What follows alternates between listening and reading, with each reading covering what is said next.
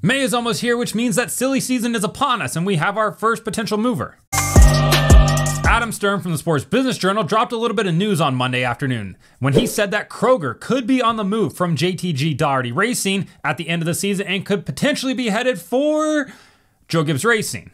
Now that's interesting. Let's talk about it a little bit. So, right now, JTG Daugherty Racing, Jodi and Tad Geschickter, along, along with Brad Daugherty and Gordon Smith as well, are the owners of that team. But on top of that, Tad Geschickter, who is, has close ties to Procter & Gamble, close ties to the Kroger Company uh, in Cincinnati, he also owns the brand activation maximizer sponsorship agency. So he helps sell sponsorship for other cars. And part of that deal is with Joe Gibbs Racing. Weird, right? A Chevy team selling sponsorship for a Toyota team. Very odd, but he went to the same college as JD Gibbs. He was close with JD Gibbs, so that's why he says that he does it, which is fine. It's admirable, even. But now there's talk of the sponsorship on the 47 car moving over to Gibbs next year. But not just that. If Kroger moves over to Gibbs, according to Adam Stern from people that he's talked to, Tad Geschickter is also going over to Gibbs. So does he become one of the marketing officers over there? Does he run the sponsorship side of the business? Is he an equity partner? That remains to be seen. But if he goes over there, that all but takes away the 47 car of JTG Daugherty Racing because half of the ownership group is now gone. And maybe they own more than half of it, right? We don't know what the breakdown is between the Geschickters, Brad Daugherty, and Gordon Smith. But if they leave, that also now brings into question what happens with the 47 car. So we'll get to that in a second. Sponsorship wise, Kroger moves over to Gibbs. They have a ton of brands that they continue to run on the 47 car. That's a major brand to land at Joe Gibbs Racing, a team that probably needs to get some sponsorship here and there. Uh, they certainly have their cars sponsored out. Don't get me wrong; they have great sponsorship over there, actually. But landing Kroger, that is a whale of a sponsor. So they would love to land that. Back to the JTG side of things.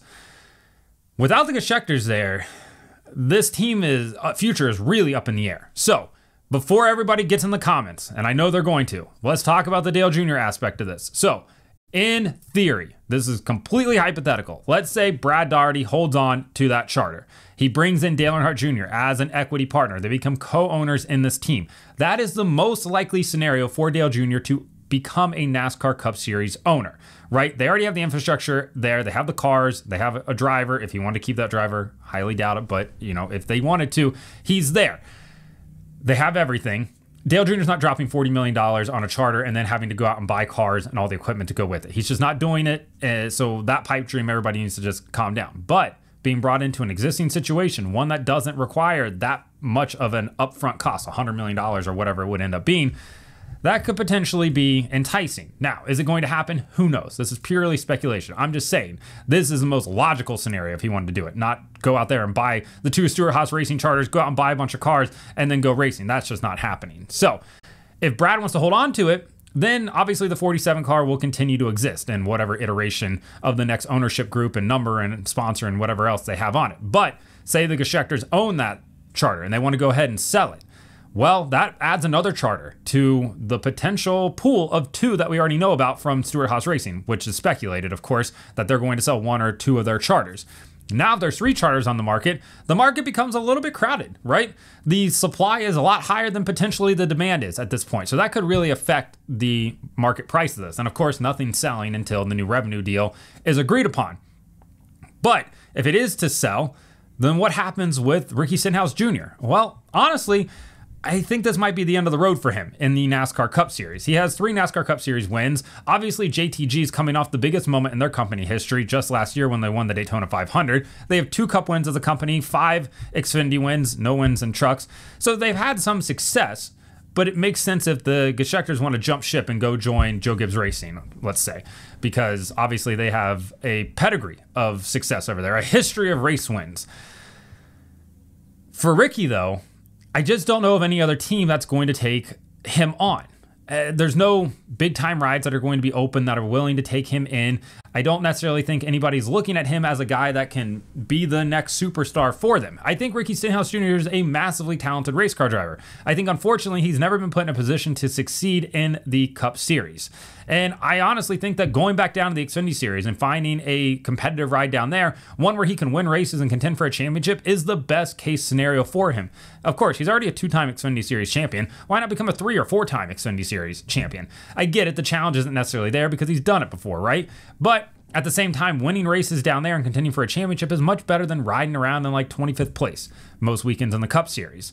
Now, there will be some people that would maybe take a look at him, of course, but we know if that charter becomes available, I would say that most of the teams looking to add a third car, those seats are probably already spoken for. We know the 23XI Legacy Motor Club and Trackhouse are already, you know, looking at other, looking to get a charter.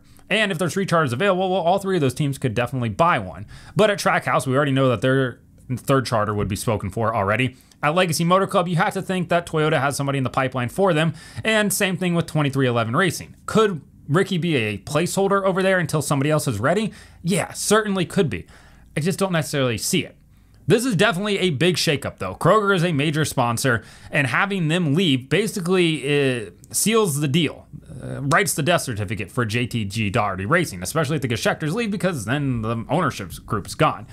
It's an interesting situation going on. Like I said, silly season usually picks up around the middle of May, end of May when we get to the Coke 600. A lot of people start talking, things get discussed, a lot of deals sort of start to get rolling or finalized during that week. We just got things moving a little bit sooner than normal here. So let me know in the comments what you think the future of JTG, Ricky Stenhouse, and Kroger is going forward. Like and subscribe to the channel. Follow me on TikTok at BrakeHard, Instagram and Twitter, Brake Hard Blog.